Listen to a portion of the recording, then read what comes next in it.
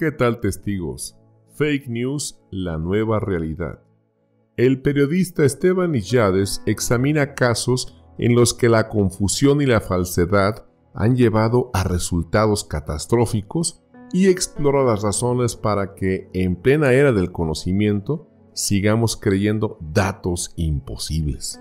Este libro es para todos los individuos con interés en el mundo de los medios de comunicación a Internet y que desean saber cómo esos operan digitados por gobiernos y agentes del poder económico. Aquí aprenderás cómo influyen los gobiernos en los medios de la comunicación, cómo opera Internet en el manejo de la información y cuáles son las repercusiones de la desinformación en la sociedad. Esteban Illades es editor de la revista Nexos y columnista en el periódico mexicano Milenio, donde todos los viernes publica un espacio en el que presenta información para que el lector pueda entender mejor las noticias semanales. Se ha dedicado a investigar el fenómeno de las fake news y a intentar desmentir las falsedades que día a día circulan por Internet. Fake News, la nueva realidad.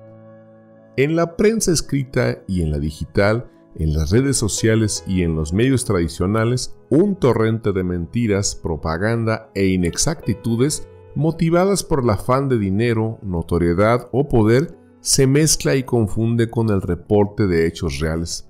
Jamás ha sido tan fácil ser engañado. A la censura y el espionaje se han sumado la sobreinformación y las fake news. Sácate la venda de los ojos con este libro. Estados Unidos y Rusia. En Rusia, si los funcionarios o la gente común sostienen o manifiestan una postura contraria a la oficial, existe la práctica del compromat. Si no consumes la información oficial o si recurres a fuentes de información extranjeras, el gobierno te desacredita por considerarte un obstáculo para el régimen y se encarga de encontrar o producir material que dañe tu imagen de manera irreparable. El gobierno ruso y sus hackers son una de las mayores amenazas a la estabilidad mundial. Los hackers rusos, que han filtrado información a medios de comunicación para difundir secretos, presentan documentos a los medios y revelan su procedencia, pero dentro de la filtración hay contenido falso. Los hackers son jóvenes, algunos menores de edad, con acceso a Internet y con habilidades no necesariamente sobresalientes de programación, dispuestos a hacer trabajo sucio por salarios ínfimos.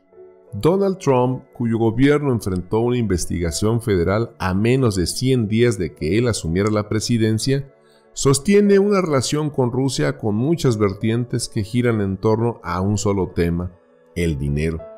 Trump dejó de ser bien visto por ojos del sector bancario estadounidense y ha tenido que buscar fondos en compañías sancionadas por hacer negocios con Irán o en bancos rusos que también están en listas negras. El laberinto en que Trump esconde sus finanzas es tan complejo e involucra a tantos países que cualquier gobierno con interés de chantaje puede hacerlo.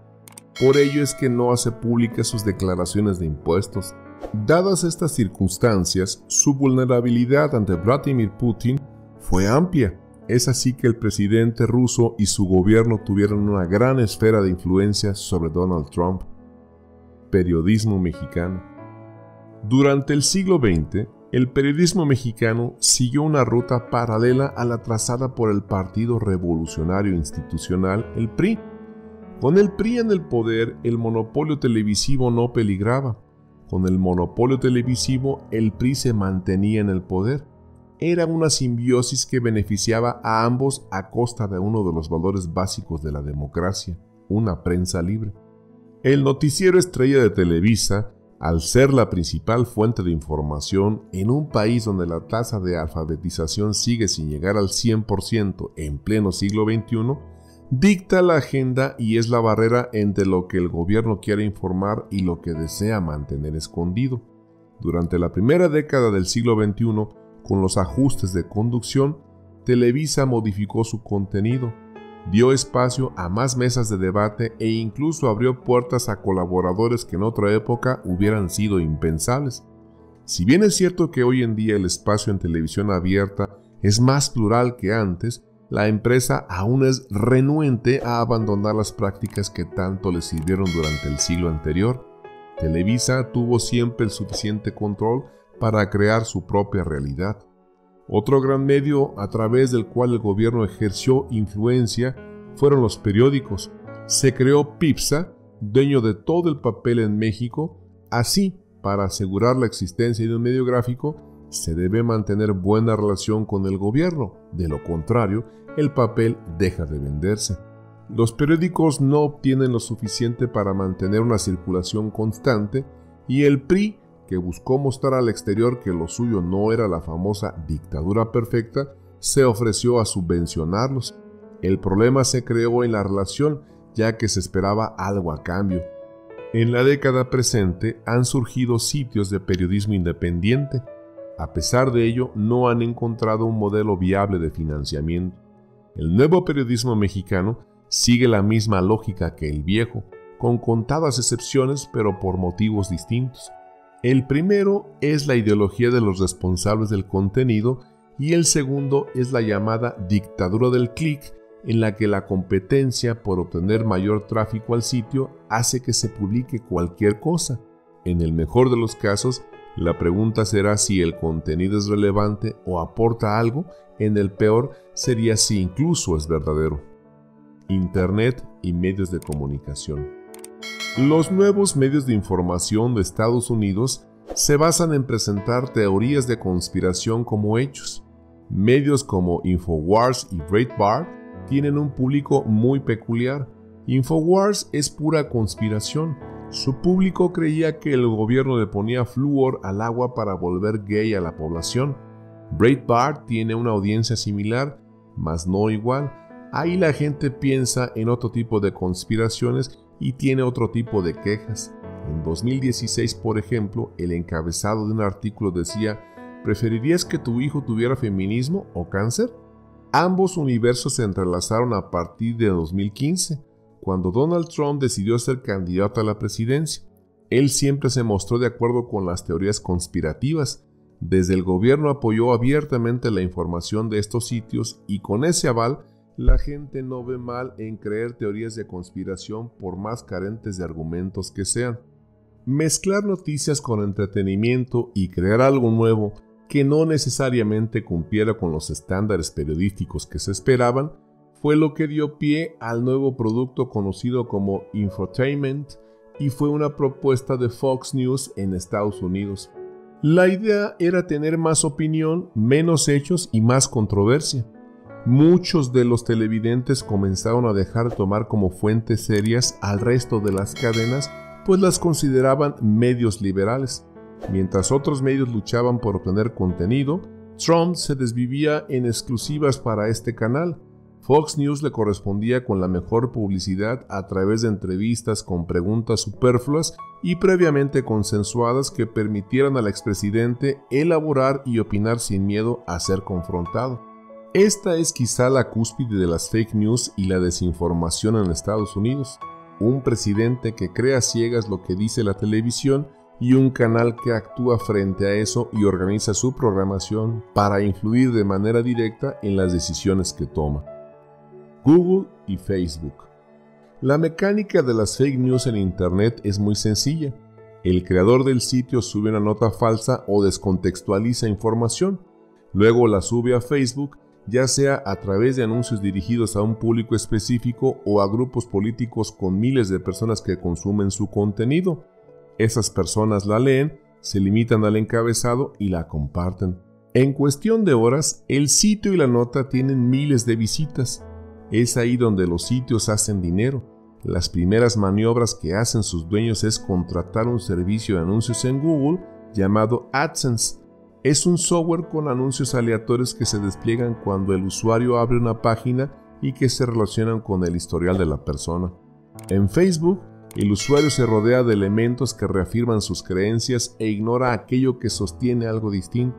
El problema se amplifica cuando, con tal de confirmar su opinión, utiliza fuentes dudosas. Dentro del sesgo de confirmación, la gente está dispuesta a creer lo que lee. Este contenido se replica y comienza la avalancha de desinformación. Una cosa es que existan estas notas y que conocidos las compartan. Otra cosa distinta es que se reproduzcan por televisión u otros medios que gozan de mayor credibilidad y que a partir de ahí lleguen a los oídos de personas con poder de decisión. Los máximos responsables del tráfico de información a nivel global han tenido que reaccionar y rápido ante el fenómeno de las fake news. Google, por ejemplo, ha modificado su algoritmo para depurarlas y desarrolló herramientas para que los usuarios denuncien contenido sospechoso. No obstante, denunciar noticias falsas ha tenido poco éxito y en algunos casos ha sido contraproducente. El tráfico de las noticias falsas aumenta con cada denuncia, pues los usuarios lo perciben como un intento de censura.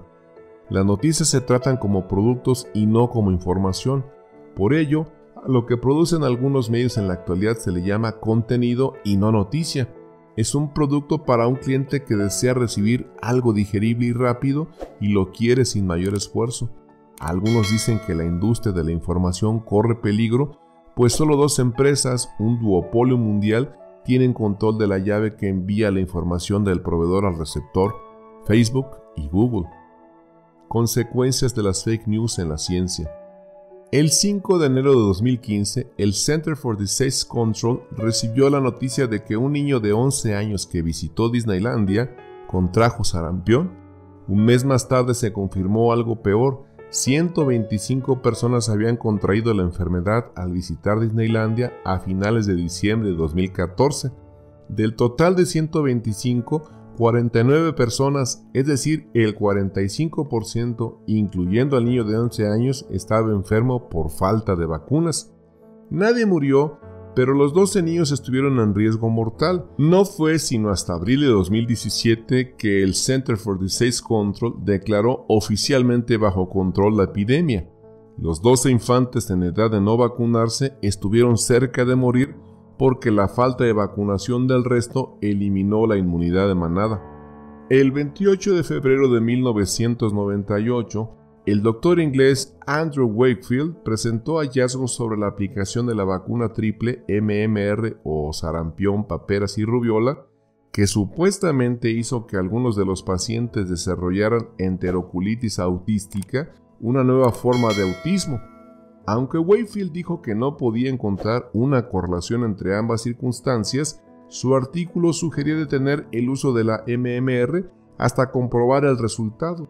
Las afirmaciones eran tan graves que las tasas de vacunación, las responsables de la inmunidad de manada, descendieron en apenas meses. Seis años más tarde, un periodista del diario inglés The Sunday Times dio con datos cruciales detrás del artículo de Wayfield. El primero era que un grupo de abogados que buscaban desacreditar la efectividad de las vacunas había aportado recursos a la investigación. El segundo era que Wayfield había intentado patentar su propia vacuna con el fin de enriquecerse a partir de sus resoluciones. Conclusiones. El problema de que una cadena de televisión o un medio nacional retomen una teoría de conspiración crece más allá de la desinformación y la falta de servicio al lector o al televidente. Suficientes teorías y notas disfrazadas terminan por moldear la opinión de la audiencia al grado de que su mundo se ve distorsionado. Los objetos que se persiguen al crear una conspiración o divulgar información falsa son dos. El primero, saber quién está dispuesto a aceptarla para demostrar lealtad al gobierno o poder de turno, y el segundo, distorsionar la conversión pública y llamar la atención. Una controversia inexistente, pero difundida por todos los medios posibles, es suficiente para que cierta parte de la población dude de la verdad. La siguiente pregunta debe ser si a los lectores les importa la información. La gente no lee y los periódicos y revistas están contentos con ello, pues los lectores no son su negocio. Los medios no quieren deberse a sus lectores porque viven bien sin ellos. Es posible argumentar que la profesionalización es solo parte del problema para combatir las fake news. Los hábitos de lectura son parte importante, pero Facebook ha cambiado la manera en que se consume la información. Internet crea un sentido de falsa expertise en que el usuario, al tener acceso irrestricto a un cúmulo casi interminable de información, se siente más experto que alguien especializado en la materia. Mientras los medios luchan por subsistir, las mentiras de los sitios falsos se propagan como nunca antes y tienen efectos duraderos. Bueno, como notas finales, la idea detrás de este libro es mostrar cómo la desinformación, que ha acelerado su paso con los años, ha aumentado desde 2015 cuando Donald Trump anunció su intención de buscar la candidatura del Partido Republicano. El lector comprenderá cómo los gobiernos participan directamente en la promoción de contenido falso, cómo la propia prensa cae en este juego y qué efectos ha tenido para nuestra realidad. Espero que te haya resultado tan interesante como a mí. Hasta la próxima.